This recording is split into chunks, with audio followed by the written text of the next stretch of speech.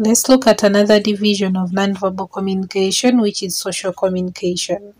The environment in which we work and live influences how we communicate. It affects our verbal and then nonverbal behavior. People who work in the bank behave a certain way, people who work in audit firms behave a certain way, people who work in schools behave a certain way, people who work in hospitals behave a certain way. So let's look at the social aspects that send out important messages. So we have space. Personal distance extends from 1 to 4 feet away from the body, and this one is referred to as an invisible. So, social distance between 4 and 8 feet away from the body is used for impersonal or business like situations. So if you see two people, may, maybe of different genders, standing like so close to each other, you start assuming that they're lovers.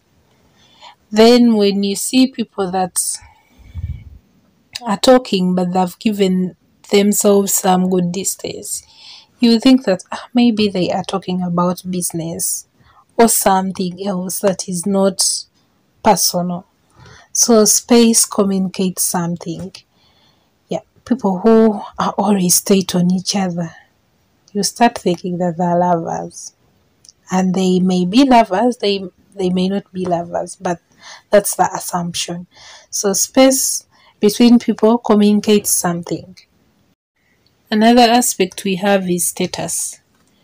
The title or the position of someone communicates something because you do not expect the MD of the company to behave the same way as the intern. No, they behave a certain way. So even the time that elapses between knocking at someone's door and the entry also communicates status. If you knock the office of uh, the office of cleaners they will open the door quickly. But if you are knocking at the office of the general manager, the general manager may take his or her time. He may be busy handling other stuff.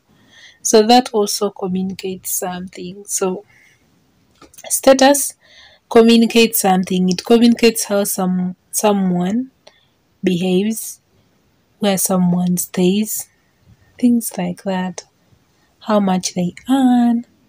Then we also have another aspect which is symbol. These are used by organizations to identify themselves and their products.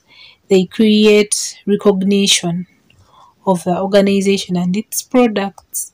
So they are important in selling the products of the company. For example, logos and then trademarks. You can just see a logo and you be like, this is Absa Bank. You'll be like, this is Mukwano. So those symbols communicate something to the public. So those are the three aspects of social communication. We have space. They are three S's. We have space, we have status, and then we have symbol.